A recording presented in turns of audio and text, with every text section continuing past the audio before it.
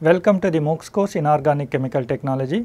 The title of today's lecture is Synthesis Gas. So, before going into the details of today's lecture, what we will be doing? We will be doing a kind of recapitulation of what we have studied in last two classes. In last two classes, we have seen a few basics of uh, fuel and industrial gases and then what is the requirement that why should we start uh, studying about fuel gas and then industrial gases ahead of uh, you know manufacturing processes of any of inorganic chemicals which is the main content of the course. The, such kind of reasons we have seen because we understand this fuel gases and industrial gases almost all used in uh, most of the inorganic and chemical industries one way or other way. So, that is the reason we should have a kind of information about this fuel and industrial gases as well. So, that is what we have seen a few basics uh, of uh, fuel and industrial gases.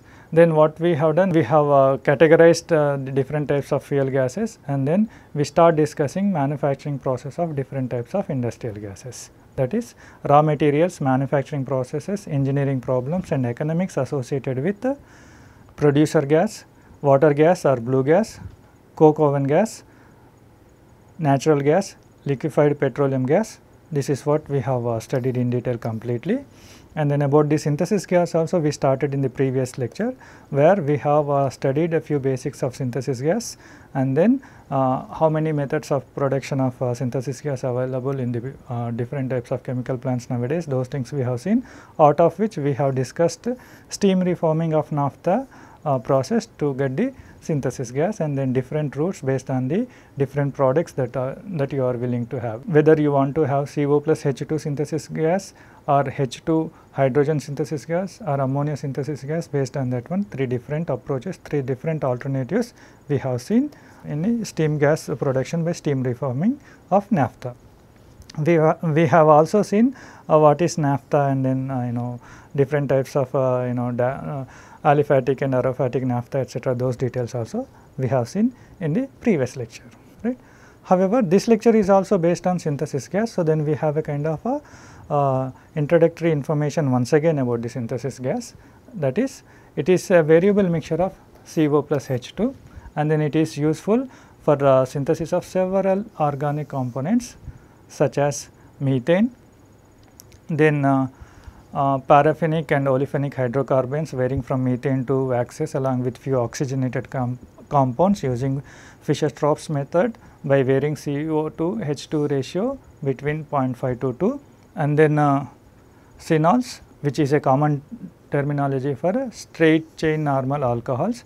And these can be obtained by uh, CO2 CO carbon monoxide to H2 ratio between 0.3 to 0.5 whereas methanol uh, by having this ratio to uh, uh, 0.3 and then higher alcohols up to CN alcohol synthesis etc., can also be done by using synthesis gas.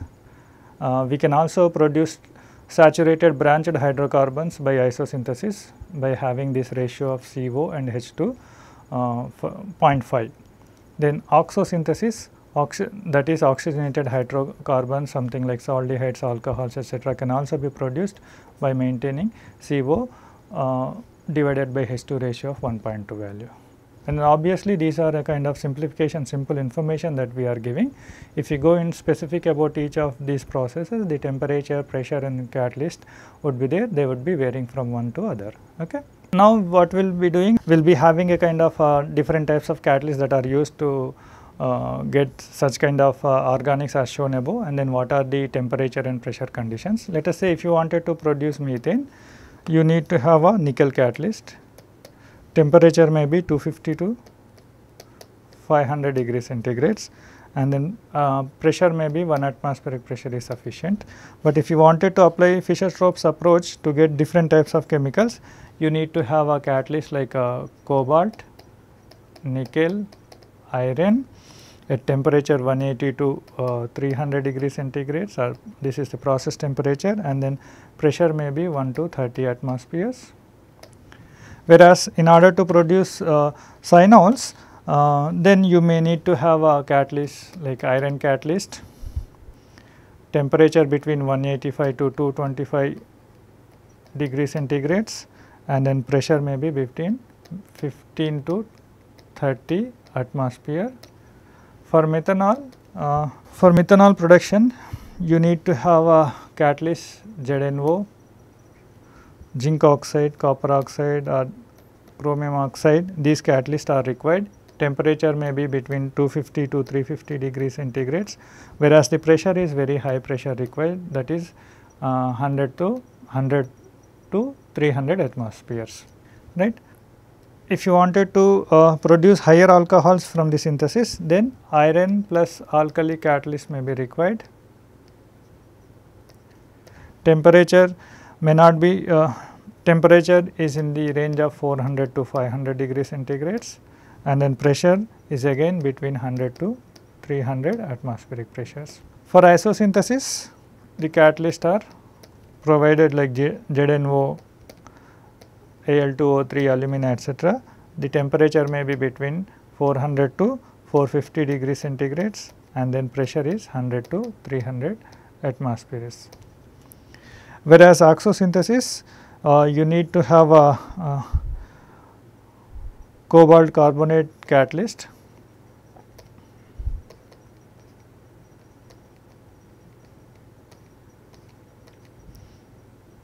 right. Temperature is not that high that is 150 to 200 degree centigrade is sufficient, but the pressure is very high that is to uh, 150 to 200 atmospheric. So, what you can see here from uh, uh, for producing methanol or higher alcohols isosynthesis oxosynthesis components you need to have higher pressure conditions okay if you wanted to produce them from the synthesis gas. Fine. So, now what are the different types of production methods uh, we have seen there are two uh, major uh, methods. One is from petroleum hydrocarbons if you are using petroleum hydrocarbons or natural resources or something like uh, natural gas etc. then we have two methods. Uh, if you are producing this from coal or coke then we have uh, two methods. From petroleum hydrocarbons one method is the reforming steam reforming of naphtha. There are three routes for three products alternative that is three alternatives that are there that we have already seen. That is syngas if you wanted to have CO plus H2 if you have if you need to produce H2 synthesis gas if you need to produce ammonia synthesis gas then three different alternatives are there from the same process. Depending on your requirement you can choose the set of uh, you know the flow sheet that we have discussed in the previous class. This is we have already discussed in the previous class. Today we are going to discuss how to produce synthesis gas by partial combustion method. So, what are the raw materials, what are the reactions, what are the quantitative requirements, process flow sheet and then uh, process economics etc. these things we are going to see in today's lecture right.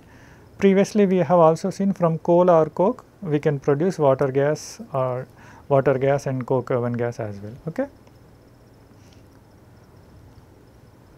So, before going into the details of production of uh, synthesis gas by uh, partial combustion of uh, naphtha or uh, natural gas and what we do we will be having a kind of a uh, discussion about major engineering problems uh, in production of syngas by steam reforming of naphtha that we have seen yesterday. What we have seen in yesterday there is a, a reformer which is provided with steel tubes we have a nickel catalyst right and then this reactor is maintained at high temperature. So, preheated uh, uh naphtha enters this reactor and then when they enter into the reactor reforming reactions take place and then CO, H2, CO2 etc. are produced that is what we have seen. So, then uh, sulfur may be present in the uh, feed. What, what is the feed that we have taken? We have taken a hydrocarbon vapor feed that is what the feed that we have taken for this uh, steam reforming of uh, naphtha. So, these hydrocarbons should be purified, they should be purified. If there is a sulfur at all, in general in most of the petroleum crude sulfur is present. So, if it is present in the crude, so then during the subsequent operations in the product sulfide, hydrogen sulfide and other sulfides are uh, going to be present. So, that one has to make sure. So, if sulfur is present in the feed material itself, so that is going to hamper the process uh, uh, dearly in the case of a synthesis gas production by steam reforming, uh, by steam reforming. That is the reason one has to make sure that in the uh, feed hydrocarbon vapor feed whatever we are taking there should not be sulfur more than 5 ppm.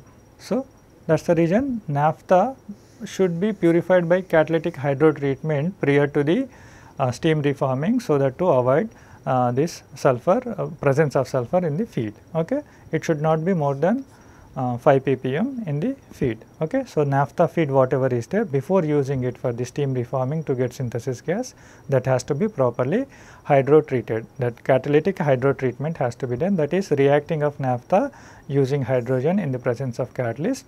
So, that hydrogen reacts with the sulfur uh, present in the uh, um, uh, this naphtha and then it produces H2S or other sulfide gases which can be removed easily right. Then after that uh, the naphtha or purified hydrocarbons vapor whatever is there uh, you have to check whether the higher sulfur is how much it is there if it is less than 5 ppm then you can take it to the uh, steam reforming reaction to produce the synthesis gas. Second one is the design of efficient reformer furnace to economically supply endothermic heat of reaction.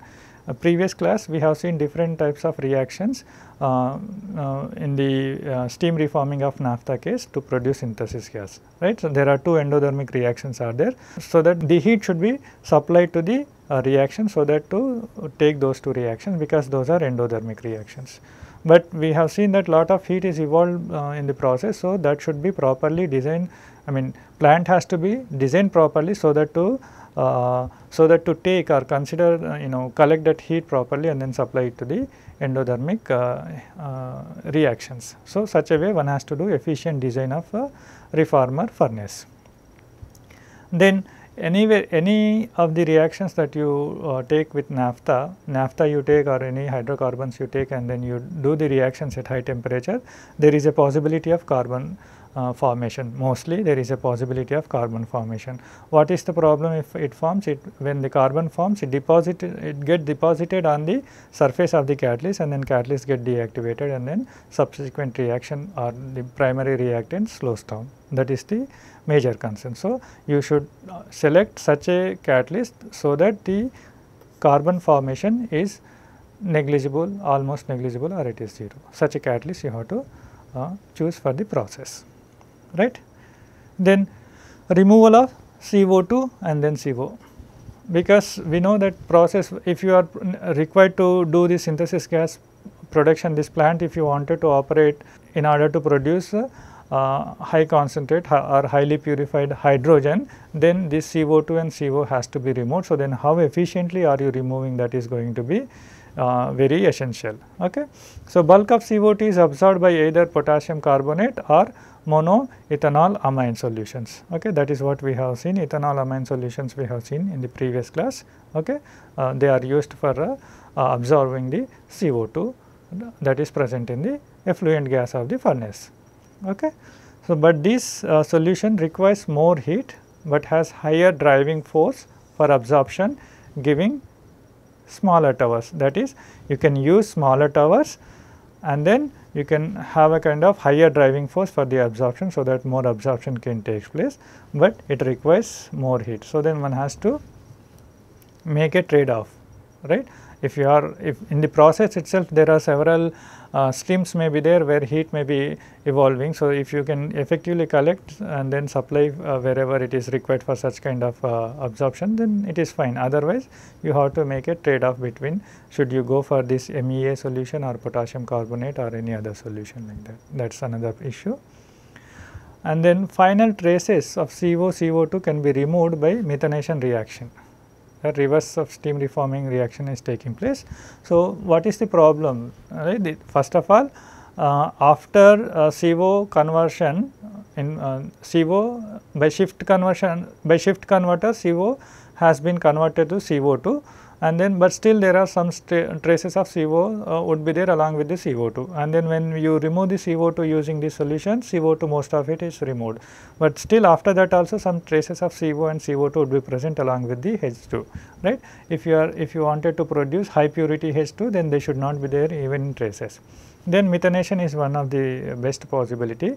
But you know here using we actually you are producing this this this you wanted to remove these traces because you wanted to produce high purity H2. But again you are using the same high purity H2 to remove these traces only traces of CO and CO2 that is one limitation right.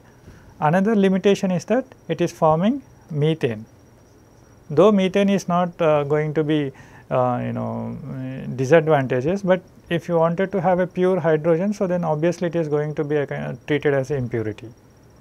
Okay. So, that is another limitation of uh, this uh, this method.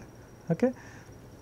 For high purity H2, sometimes you may need to use ammonium cuprous formate or molecular sieves, which again increases the cost of production. Okay. So, these are the some uh, major engineering problems associated with the steam reforming.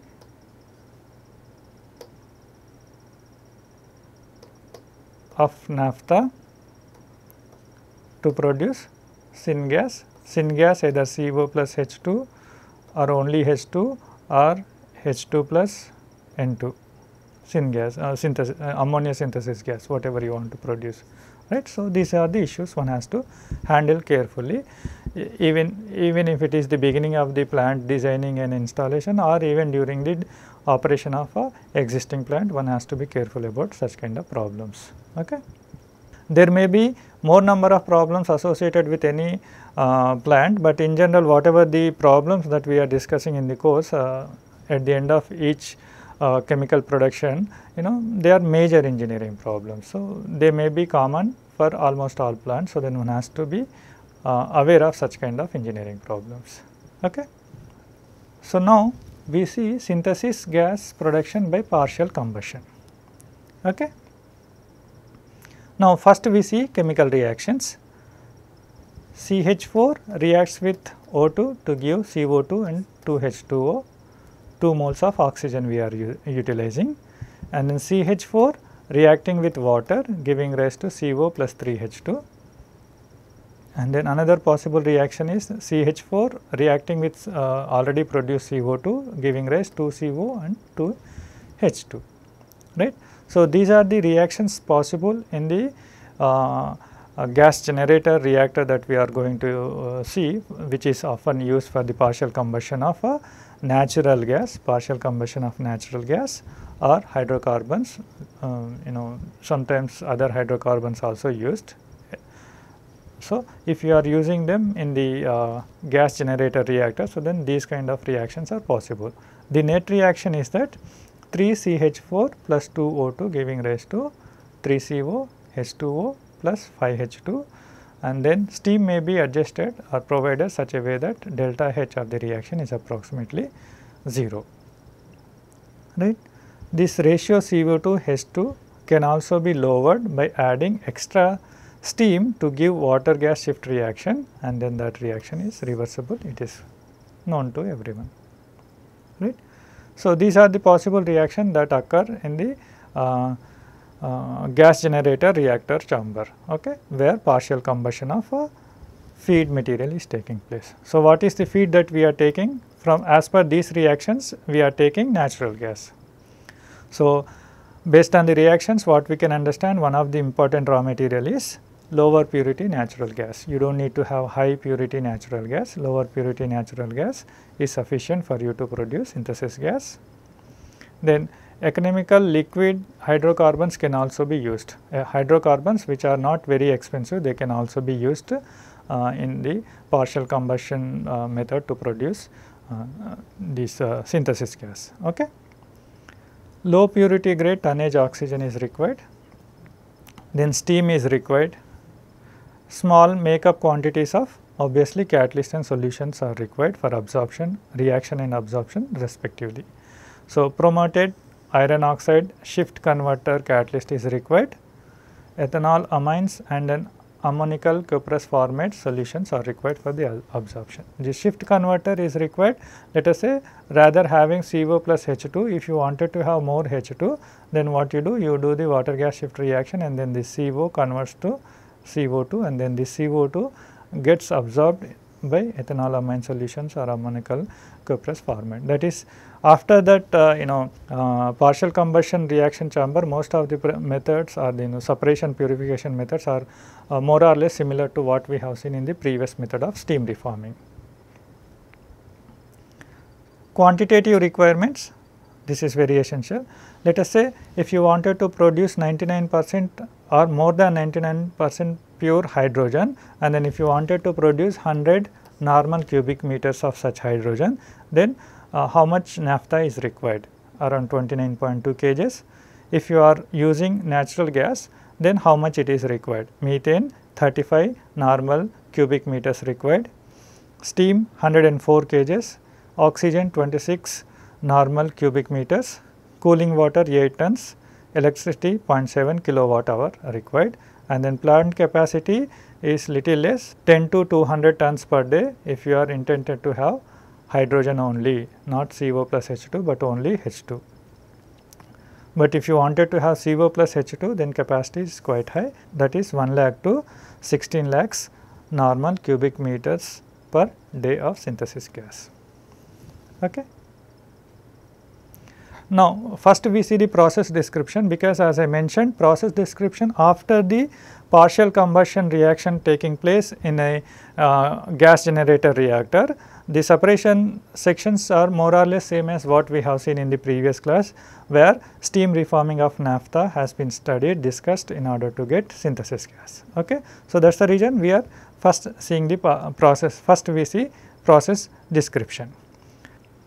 The feed material hydrocarbon or methane whatever you are taking as a feed and then oxygen which you are taking low grade oxygen that is as described in raw material separately individually you take and then heat them and then mix at 550 degree centigrade and feed to a burner in a refractory lined furnace which we call gas generator. So, now here this bur burner design is going to be very essential. You need to have a very stable burner because this when the feed and oxygen are coming. So, obviously that burn uh, whatever the flame produced by the burner is not going to be stable. So, you have to design such a way that you know uh, it has to be stable. Okay. And then after the reaction whatever the components that are produced are CO, H2 and CO2 primarily or whatever the effluent gas after the gas generator that you get um, primarily CO, H2 and CO2 there may be some traces of CH4 and then sulfides etc. also uh, may be there depending on the feed that you are taken how pure it is right. So, these gases would be at very high temperature at 1100 degree centigrade something like that.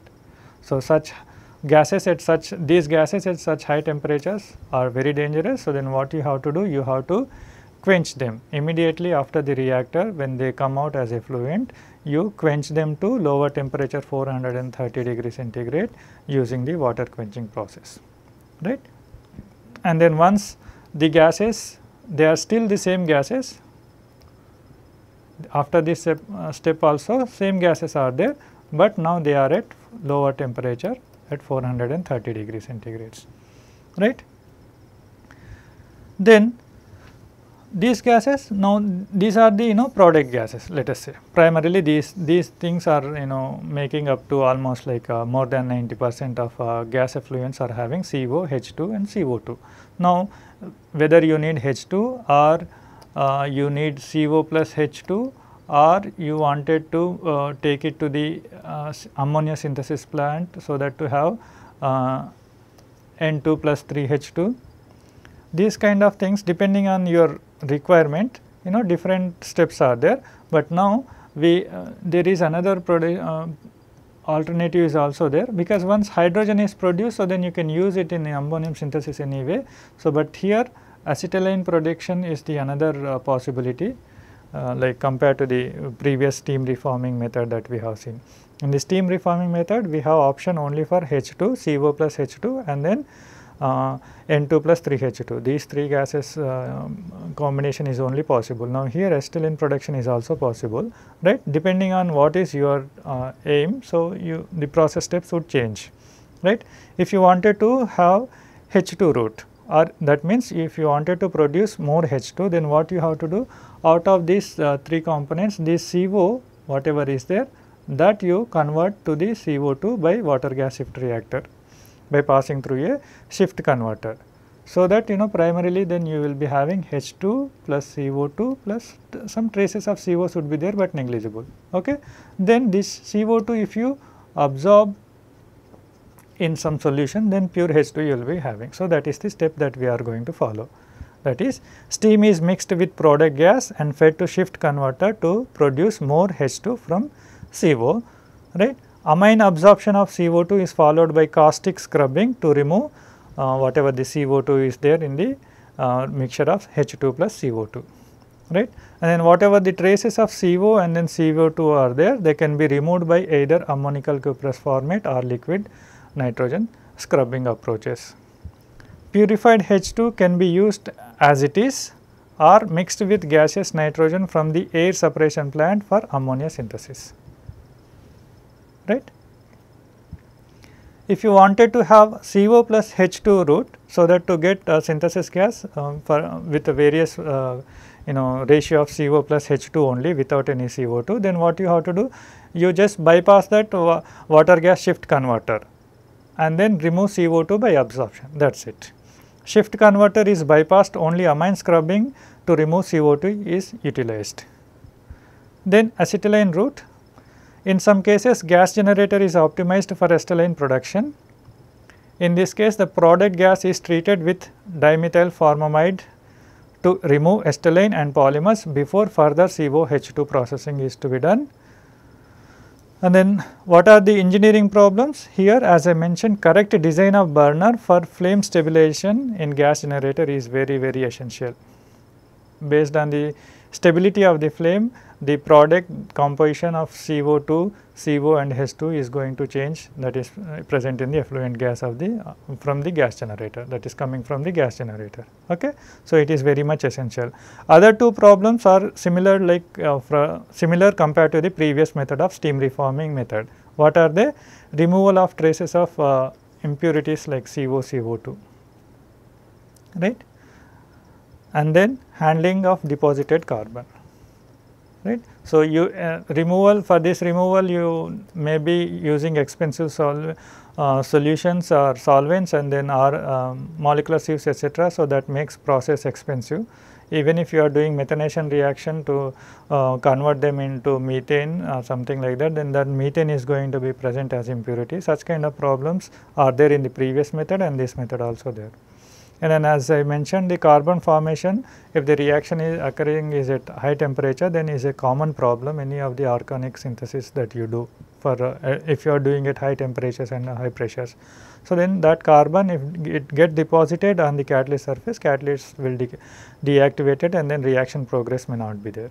So, then for that reason what you have to do you have to choose a catalyst such a way that in, in a given particular process the carbon formation would be negligible. Now, same thing whatever we describe the process we, uh, we can discuss through flow sheet here. Okay. So, the process description is given there and now we are uh, going to see the same thing by flow sheet. Okay.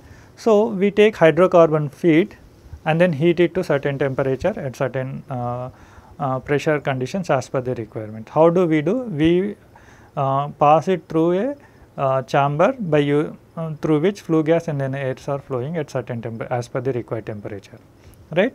And then what you do separately you take low purity oxygen from air separation plant and then you heat it preheat right? So the hydrocarbons and then oxygen separated from air separation plant are individually preheated to certain high temperature and mixed at 550 degree centigrade before feeding to the gas generator reactor. So, gas generator is the chamber in which the partial combustion of feed is taking place right. When this partial combustion is taking place we will be getting H2, CO and CO2 along with some impurities like methane and sulfides etc. So, primarily H2, CO and CO2 would be there right. So, these would be at high temperature like you know 1100 degree centigrade or something like that these gases at certain such high temperatures are going to be very dangerous. So, then immediately you uh, do you what you do you quench them. So, you take a tower pass these uh, gases from the bottom of the tower and from the top you spray the water cool water so that the temperature immediately fall down to 430 degrees centigrades right. So, but the composition is still same primarily H2 CO and then CO2. So, these gases if you wanted to produce acetylene, so then there is a separate route, right. So, many approaches are there, so many we have already seen in week 1 lecture. So, alternative approaches. So, there we have seen for acetylene so many methods are there. So, we are not going to uh, discuss how to produce uh, acetylene from this combination of eff effluent gas right. So, that is uh, not required as per the you know this week's lecture that is required in organic chemical technology separate course. Okay. Other thing is that uh, let us say if you wanted to have CO and H2 only then what you do? You take these gases H2, CO, CO2 gases through this approach bypass the reactor right and then you do the scrubbing using uh, in absorption column you scrub the H2, CO, CO2 whatever are there those gases at 430 degree centigrade and 14 atmosphere you pass through absorption column where ethanol amine solutions are produced uh, where ethanol amine solutions are provided so that to absorption of CO2 can be taken place or CO2 may be absorbed into those solutions right. So, once CO2 is absorbed so then you may be having only CO and then H2 almost 99 percent. So, this CO and H2 you can collect it as synthesis gas right. So, the solution is you know you cannot have uh, you know tons per day of solution for the simple absorption. So, what you do you have to recycle it whatever this spent solution or diluted solution where CO2 is being absorbed. So, that you take it to the stripper section right. In the stripper section you uh, remove the CO2 from the you know solution right absorption and stripper are opposite. Absorption is absorbing the gas into the liquid, stripping is you know removing the gas from the liquid. So, once you remove the uh, CO2 uh, from the liquid, that liquid you can take back to the absorber. So, that this uh, recycling of uh, solution takes place and then you do not need large quantities of uh, you know solution for this absorption alone. Okay. So, two alternatives we have seen acetylene production alternative and then synthesis gas CO plus H2 production we have seen. Let us say if you wanted to have pure hydrogen synthesis gas, then what you have to do after this scrubbing section. What you do this uh, effluent gas at 430 degree centigrade that effluent gas is having H2, CO and CO2 that you take to CO converter which is at 400 degree centigrade and then iron catalyst is present. Here what happens in this uh, converter CO would be converted to the CO2, CO would be converted to the CO2. So, primarily output or effluent gases of the CO converters are H2 and then CO2 only. Traces of CO anyway, anyway they may be there. So, then after this uh, converter then process is same you take it to the CO2 absorber and then once from the CO2 absorber CO2 is uh, removed. So, then pure H2 would be there. So, then the pure H2 with only traces of CO2 you know you can get and then that you can subsequently take to the caustic scrubbing or CO scrubber using the cuprous ammonium cuprous formate solution separately to further purify the hydrogen. Okay. So, let us say if you take it to the uh, caustic scrubber. So, here you are using NaOH solution and then this hydrogen gas with traces of CO, CO2 are, are allowed to pass through this uh, scrubber from the bottom and from the top you are taking NaOH solution. So, in this solution what happens whatever the traces of CO, CO2 are there they will be absorbed uh, within NaOH and then uh, NaOH along with the sodium carbonate some type some kind of reaction with the NaOH and then CO2 may take place and then sodium carbonate may form right. So, those things are collected from the bottom. From the top after removing this CO, CO2 they are collected and then dried and then sent to a nitrogen wash tower even if uh, further some uh, CO, CO2 etc. are uh, still present the even after casting a scrubber then you can pass it through a nitrogen wash tower where liquid nitrogen is provided from the top to remove the CO and then almost like pure 99 percent or more than 99 percent H2 you get as a synthesis gas that you can collect right. So, here whatever the uh, liquid nitrogen used for the absorption of traces of CO, CO2 that will be again diluted. So, then what you have to do? You have to pass through a steam chamber and then recover the waste N2 whatever the gases are there let us say they should be taken uh, to the dryer and then fed back to the nitrogen wash tower further for the further uh, purification of those gases. Okay.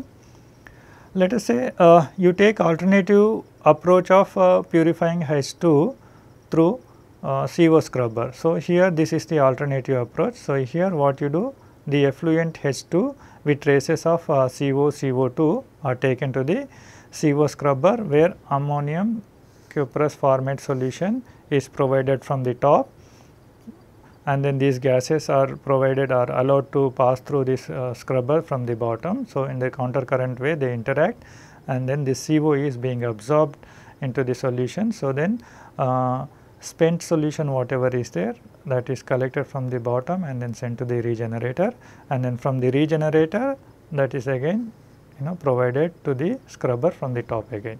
So, the same solution is recycled here also. Okay. So, after this step again almost like 99 percent pure H2 you will be having that H2 is again collected as a H2 synthesis gas which is having more than 99 percent purity.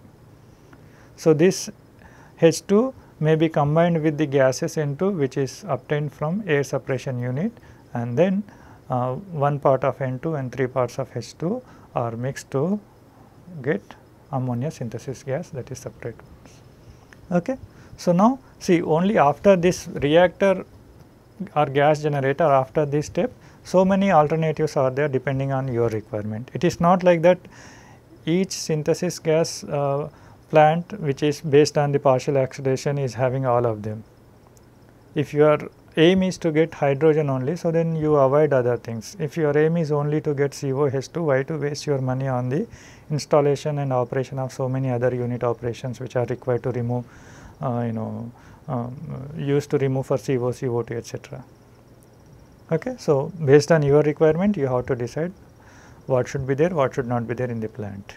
Okay. Coming to the economics of uh, synthesis gas by both methods, COH2 synthesis gas plants by either of the methods are competitive. So, we cannot say which is good, which is bad, it depends on the feed and all that. Okay. However, partial combustion is favored because of high cost of hydrocarbon fuel. In the partial combustion what we are using, we are using mostly methane natural gas because if you want to do the partial combustion of hydrocarbons to produce synthesis gas, those hydrocarbons are you know expensive. So, you do not want. So, you, rather that one you are using methane in general in uh, partial combustion method. So, because of that reason and then another issue is that insufficient heat transfer in, in reforming furnace of steam reforming uh, method. In the steam reforming method what happens the insufficient heat transfer takes place within the furnace. So, that is another reason because of that reason partial combustion because of these two things uh, right you know because if you wanted to do steam reforming approach then you need hydrocarbons which are expensive and then if you wanted to do, do the steam reforming then in the reforming furnace the heat transfer is not efficient. So, because of these two reasons people uh, prefer for the partial combustion in general and then continually lowered cost of tonnage, oxygen and production of acetylene as valuable byproducts or additional incentives. In the partial uh, combustion method, you need to have a oxygen, low grade oxygen is sufficient and then its decreasing cost is often in general decreases, right, uh, with the time. And then production of acetylene is the other uh, possibility that is another uh, uh, valuable chemical that you are getting as a byproduct. So, this is the another advantage of partial combustion method to produce synthesis gas. But however, steam reforming is also having certain advantages like steam reforming is also beneficial with improved metallurgy reformer tubes permitting advantageous use of pressurized feeds. Actually, uh, steam reforming reactor whatever is there we have a steel tubes within the steel tubes we have these catalyst particles etc right nickel catalyst particles are uh, inserted. So, uh, you know these gases when come they react there is a possibility of a pressure rise. Usually whenever any reactor if the hydrogen is produced inside the reactor during the reaction then pressure shoots up in general it is very common right. So, you need to have a you know uh, you know certain certain kind of tubes which can sustain the pr high pressures as well. So, nowadays there are furnaces you know which are providing such kind of advantage of using pressurized feeds. In India steam reforming is favored when using naphtha feedstock because we know that naphtha can also be used for the partial combustion right. For the partial combustion method also naphtha hydrocarbons are used. But however, if we have a hydrocarbons or naphtha at lower cost uh, you know economical cost or cheaper cost then it is better to go for steam reforming rather going for the partial combustion right. You should not go to the steam reforming if your feedstock of naphtha is expensive otherwise you can go for the steam reforming. Byproduct H2 from petroleum refinery catalytic reforming units is considered uh, uh, competitive because around 1400 tons of H2 per day are produced from total available catalytic reformer capacities of 1 into 10 power 6 barrels per day right and then most of this hydrogen is used for the ammonia synthesis purpose and th that also at refinery location itself. So, because of uh, this is the another advantage of having byproduct H2 in the plant. The references for today's class are provided here. You can find out these details any of these two books. Thank you. Música